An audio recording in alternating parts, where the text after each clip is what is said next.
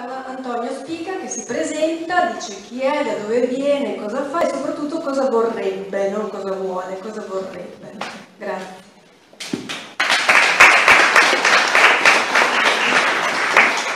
Grazie Patrizia, buongiorno a tutti. Devo dire che non è facile prendere la parola dopo un intervento così autorevole del professor Boschi, che permettetemi di ringraziarlo personalmente per le tante volte a cui lui mi sono rivolto per avere chiarimenti su ciò che è successo nella nostra area cratere. E caro Enzo, volevo rassicurarti che continuerò a disturbarti, se posso così dire, sino a quando in questa zona non emergerà la verità su ciò che è successo. L'emozione non vorrei che mi tradisse. Sì, chiedo scusa. Eh, sono Antonio Stiga, sono consigliere comunale a Pastiglia, provincia di Modena, comune dell'area cratere del 2012, sismico, e alluvionale del 2014 colpita in pieno dall'alluvione della rottura dell'argine del fiume Secchia, dove lì hanno voluto addossare la colpa al mare, in realtà non è così e vi dirò anche il perché. E per cercare di restare nei tempi vi leggerò un documento scritto da me personalmente e che racchiude un po' eh, tutto quello che ho fatto in questi anni e che si è concluso in un primo momento con il deposito per cui è messo tutto nero su bianco in un corposo esposto di diversi allegati che non hanno alcun riferimento eh, politico, non hanno alcuna fonte politica, ma solo eh, fonti dalla, da parte della scienza libera eh, documento risposto che è stato depositato eh, all'inizio in quattro procure della Repubblica, Modena, Ferrara, Reggio Emilia e Roma, e poi per, per fatti inerenti alla Basilicata, e poi cercherò di dirvi il perché, è stato depositato anche presso la Procura della Repubblica, presso il Tribunale di Potenza. Sei anni fa, quel tragico maggio, cambiò per sempre le nostre vite, chi più chi meno siamo stati coinvolti, ma sono sei anni in cui tutta la politica nel ricordare quel periodo dibatte su numeri, cifre della ricostruzione, su ciò che è stato ricostruito e su quanto ancora deve essere fatto, contributi stanziati, quanto effettivamente è stato erogato, quella zona franco urbana concessa per l'area del 2012 e del 2014 con 20 milioni, con una concessione della zona franco urbana con 20 milioni di euro concessi a piccole e medie imprese, lasciando fuori molti comparti, a fronte di 6 miliardi di euro in imposte versate dal territorio che sino a quel maggio maledetto del 2012 produceva circa il 2% del prodotto interno lordo, pari a 20 miliardi di euro, percentuale quindi pari a un 3 per 1000 che rappresenta un ridicolo ocolo, mentre invece il nostro territorio chiedeva a gran voce la no tax area che avrebbe per noi consentito un'effettiva e migliore ripresa economica per imprese, per imprese e privati cittadini. Ricordando che dopo sei mesi dal sisma, a dicembre 2012, le imprese dovettero contrarre addirittura un mutuo per pagare le imposte. Molte imprese hanno delocalizzato, tante hanno chiuso definitivamente le varie imposte, qui si continuano a pagare come se nulla fosse mai successo. E da eh, chiarire meglio anche questo aspetto della tax area che mentre noi la chiedevamo e mentre ci dicevano l'Europa non la può concedere, presso la Camera di Commercio di Ferrara nel 2014 un esponente del Centro Democratico Modenese in conferenza stampa insieme a dei rappresentanti del ministro polacco invitava vergognosamente a delocalizzare le imprese dell'area Creferi in Polonia dove lì invece avevano già predisposto una zona no tax area.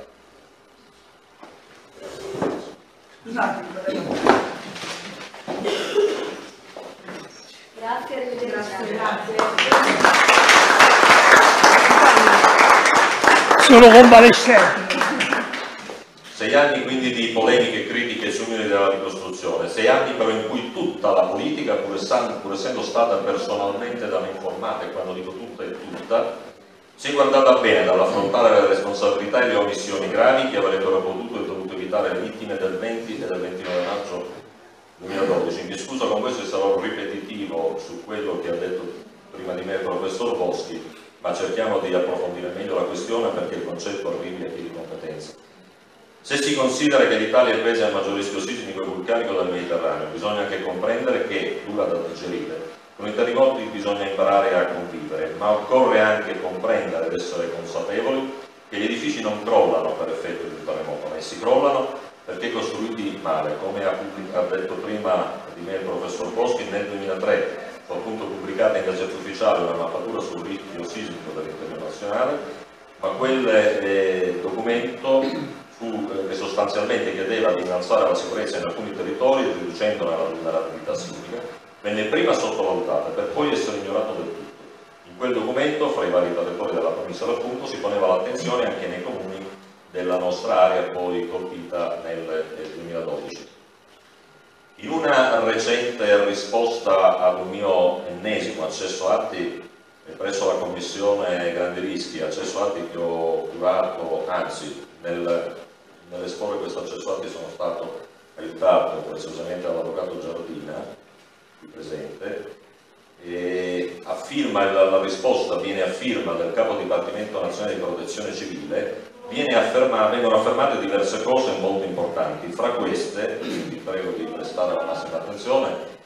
non risultano, quindi viene ufficializzato il fatto che non risultano verbali della Commissione Grandi Rischi dal 20 al 29 maggio 2012, come era invece doveroso che la Commissione stessa si riunisse o chi aveva il dovere ne chiedesse la convocazione. Per quanto invece riguarda la vulnerabilità sul rischio sismico, si legge nel documento, il percorso di aggiornamento della pericolosità e delle norme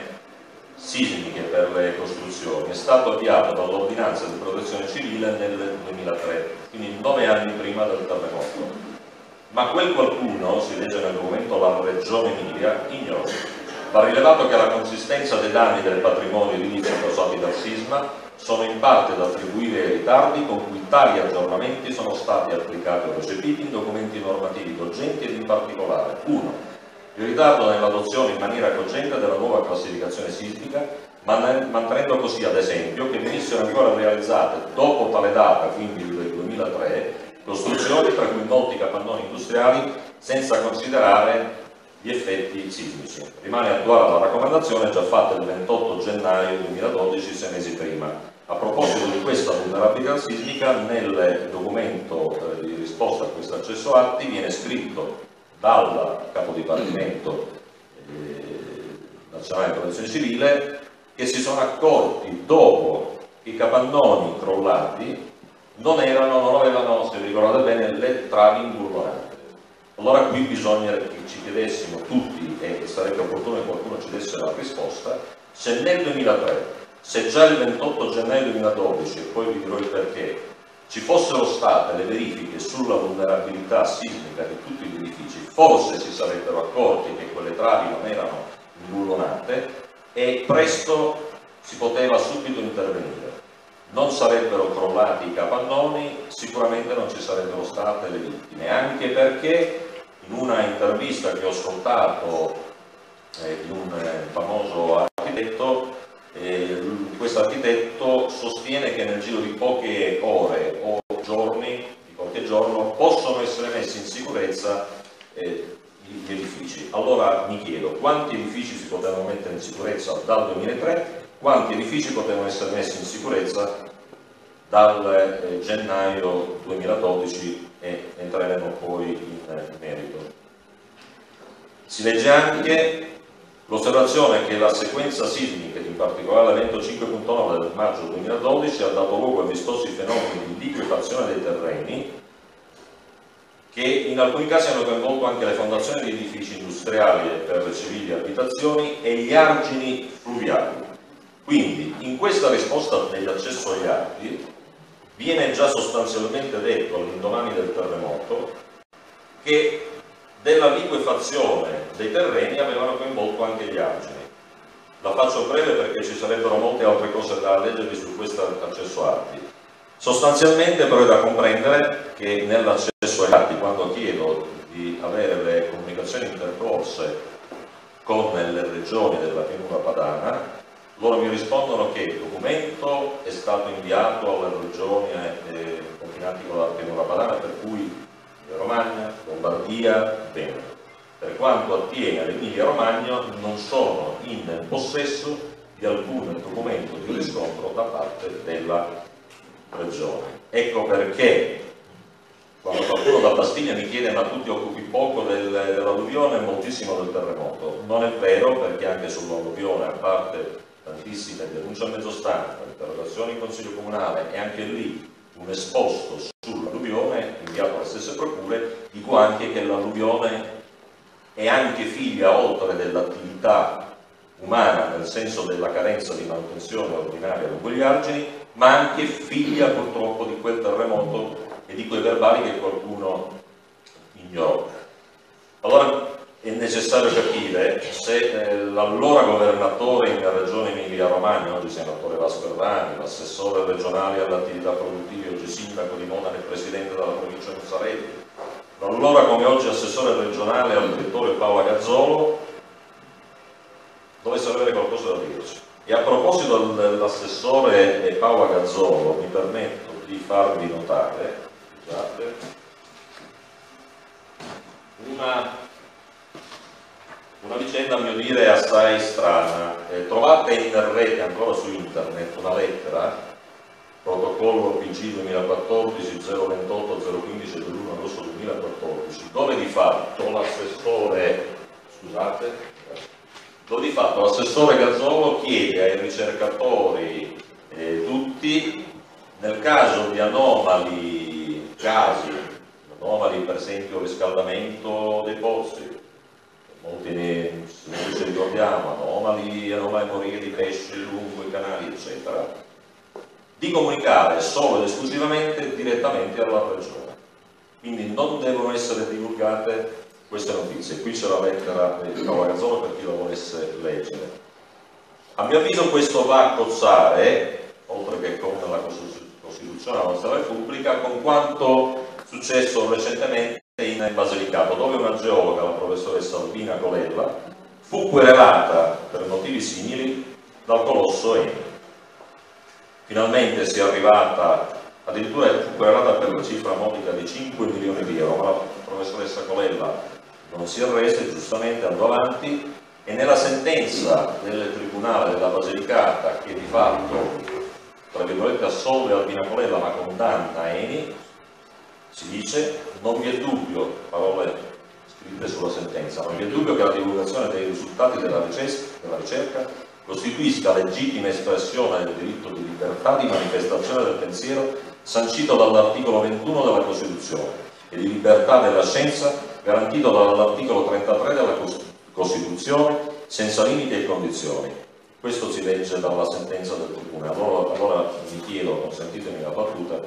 se l'Emilia Romagna fa ancora parte di questa Repubblica Italiana ci siamo fermati al Gran Ducato tantissimi anni fa. E anche qui bisogna anche comprendere per quale motivo ci sono ricercatori, anche presso l'INGV che io stimo moltissimo, di cui mi fido ciecamente, che studiano da anni queste problematiche che hanno fatto diverse volte sul nostro, nel nostro territorio campionature su anomali riscaldamenti dei posti, ricordate il famoso pozzo di Camorana a 53 gradi,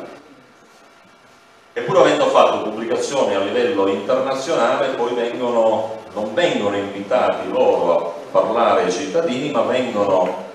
invitati a parlare personaggi, non faccio nomi, tale Nicol Todesco, che non mi risulta abbia delle pubblicazioni particolari su questi fenomeni. Perché non vorranno lasciare pieno azione a persone che lavorano,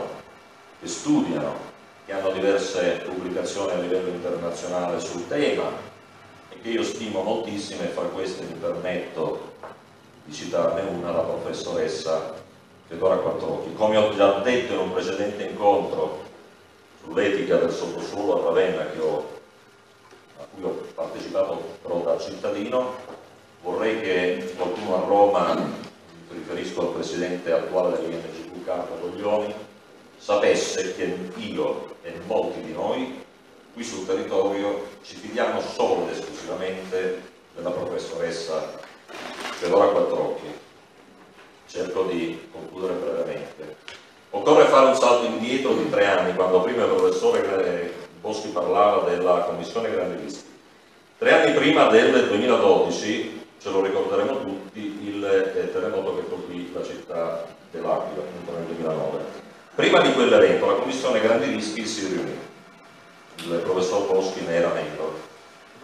a quella, eh, emise un verbale, a quella riunione, se non ricordo male, anzi non me lo ricordo male sicuramente, era presente il sindaco dell'Aquila, non uscì affatto soddisfatto da quella riunione, tanto che dopo la riunione chiese ed ottenne lo stato di emergenza. Poi fu il terremoto, sappiamo tutti quello che è successo, quella commissione grandi rischi andò vergognosamente, vergognosamente sotto processo, ben due processi, uno mediatico perché noi in Italia siamo bravi prima dei tribunali a giudicarci, ma quello poi si spense subito chiarendo bene ciò che era avvenuto. E l'altro invece è il giudiziario. Quello giudiziario si è concluso nel giro di qualche anno con la giusta assoluzione di tutti quei componenti, assoluzione eh, proprio totale al 100%, tranne di un membro, un tale Bernardo del Bernardini, si giusto per non fare nomi e cognomi, ci parla di questo per capire il motivo del perché dell'esposto di cui parlavo prima, che per ben due mandati consecutivi triennali, non avendo scontato gli effetti di quella condanna, ha comunque continuato a presiedere eh, l'ISPRA, l'Istituto Superiore per la Protezione Ambientale. Incarico eh, poi si è dimesso non per effetto di quella condanna, è questo che bisogna comprendere, ma per eh, scadenza del secondo mandato triennale, così come prevedeva lo statuto dell'Istra. Allora non si capisce per motivo. Per l'Aquila si riunisce la commissione grandi rischi, viene, eh, va sotto processo e quindi viene sciolta. In Emilia non solo la commissione grandi rischi non si riunisce, ma ancora qui dal 29 maggio e ancora qui non si è aperto un vero e proprio caso sulla commissione grandi rischi del perché non solo non si è riunita, avendo un dovere, e nessuno ne chiese la convocazione. Aveva il dovere, come giustamente anche aveva detto il professor Boschi, che si riunisse la commissione grandi rischi dopo il 20 maggio perché la scienza, non lo dice Spiga, non lo dice nessun altro, lo dice la scienza e lo dimostra, che i terremoti in Italia avvengono sempre a coppie o gruppi. Si può vedere storicamente, il terremoto di Messina, il Belice, il Friuli, l'Aquila, l'Irpinia, lo abbiamo visto recentemente anche in centro Italia, agosto-ottobre 2016, l'Italia dall'Emilia Romagna era forse immune, ahimè no.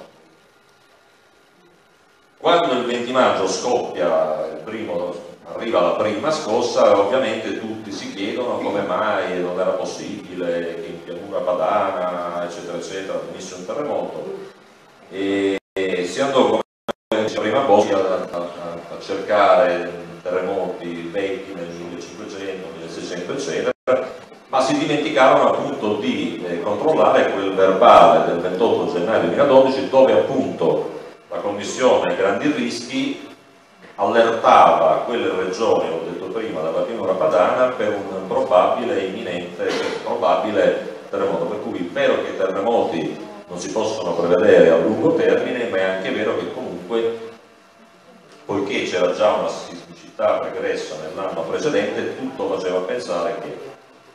E quell'allarme fu ignorato. Non si capisce poi perché la Commissione, è stato detto prima, si riunisce a sequenza sismica praticamente ultimata nei primi di giugno per lanciare un allarme sul terzo segmento ferrarese che poi non avviene, quindi per fortuna. Si rotto poi tardivamente, quindi circa un anno dopo, quando Vasco Errani istituì la commissione Chiese, qui vorrei chi e perché chiese a Vasco Errani di istituire questa commissione Chiese, per verità giustissima, ma vorrei anche sapere eventualmente quando fu chiesto eh, a Vasco Errani di istituire quella commissione di Chiese, perché mi sembra assurdo che il terremoto del 2012 e la commissione di Chiese viene convocata con grande eh, ritardo. Sostanzialmente viene chiesto due aspetti alla Commissione Chiese. Se l'area Cavone avesse potuto eh, innescare la sequenza sismica e se il famigerato, famosissimo deposito gas di Rivara avesse potuto innescare il terremoto, eccetera, eccetera.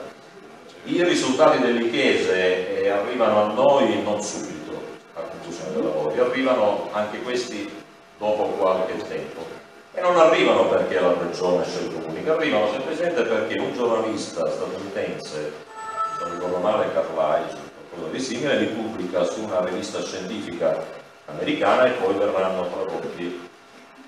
in italiano. Sostanzialmente però l'Ichese dice non si può escludere che le trivellazioni e la coltivazione di idrocarburi all'area Cavone avesse, possa aver generato i terremoti eccetera ovviamente dice no, non è possibile che Rivara abbia provocato il terremoto perché Rivara era di fatto inesistente quando in tutti noi è stata inculcata l'idea che Rivara avessero eh, lavorato eh,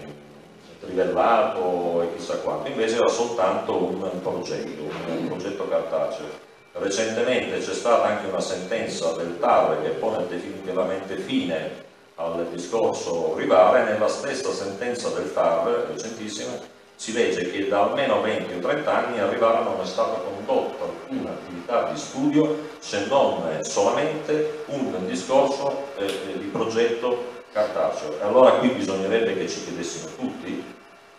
per quale motivo fu tirato in ballo Rivara inesistente e non, viene, e non, venne tirato in ballo, ad esempio, ma non vengono mai tirati in ballo in altri eventi sismici, ma anche il centro di stoccaggio a Minerio, che in risulta, l'ha anche detto prima il professor Boschi, è uno dei più importanti, grossi a livello europeo, e in Italia è il centro nevralgico dove arrivano tutte le condutture del, di raccolta del gas da in maniera molto povere. Addirittura non, non è stato neanche tirato in ballo Sabioncello che dista appena 18 km eh, da, da, Ferrara, per cui perché andare a disturbare un eh, deposito gas inesistente, quando invece poi ce ne sono tanti altri inesistenti, però. Attenzione che sia chiaro, perché non vorrei quello che succedesse, che è successo al Boschi, ma ovviamente nessuno si preoccuperà di Antonio Spica, di fare dei copia e incolla su quello che dico, io non ho titoli per dire se un deposito le trivellazioni sono, eh, innescano, non innescano, eccetera. Dico però, e me ne assumo la responsabilità, poiché ho la netta sensazione, questo non l'ho esposto lo scritto, quindi non dico niente di nuovo, che con la Commissione Chiesa si è voluto provare a creare un ambito su misura a qualcuno, chiamato abito, e che quest'ambito stia stretto e poiché determinati studi di queste problematiche non vengono affidati a persone esperte e competenti, ricordando che nella commissione Chiesa, domani nella commissione Chiesa ci fu un eh, funzionario del MISE, se non ricordo male, che parlò di eh, corruzione, di sì, parlò di speculazioni, non trovo il termine, in quella commissione, le procure avrebbero il dovere quantomeno di chiamare questo personaggio menzionato nell'esposto e farsi spiegare chi, come, perché, quando, dove, eccetera, speculò in quella commissione. Allora, fino a quando il tutto non viene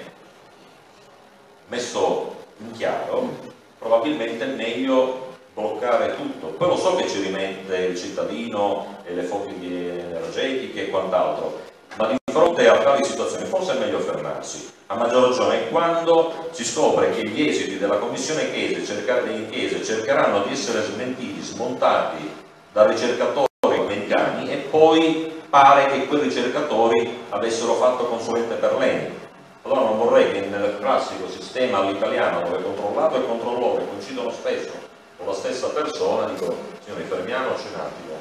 concludo veramente. Che sia ben chiaro, io non ho interessi di alcuna natura da difendere qua in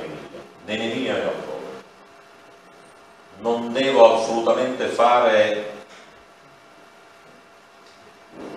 eh, carriera politica, perché se la sinistra, fermo restando che poi qui la politica c'entra niente, perché tutto quello che è stato scritto sono soltanto documenti scientifici. Se la sinistra non mi ama, non mi ama sicuramente il centrodestra, perché in questa battaglia, e qui lo voglio dire, mi ha isolato, ma io continuerò battermi perché queste verità vengano fuori. Quando allora, prima di presentare l'esposto e tuttora quando ne parlo e continuerò a farlo visto i recenti accessi atti, qualcuno mi, domanda, mi chiedeva e me lo chiede ancora, ma perché lo fai? La risposta è una sola. Essendo originario di Palermo e avendoli conosciuti orgogliosamente, ritengo che Giovanni Marcone e Paolo Borsellino non sono morti in vano e allora questo territorio e a maggior ragione le proprie le vittime che il terremoto ha creato melhores.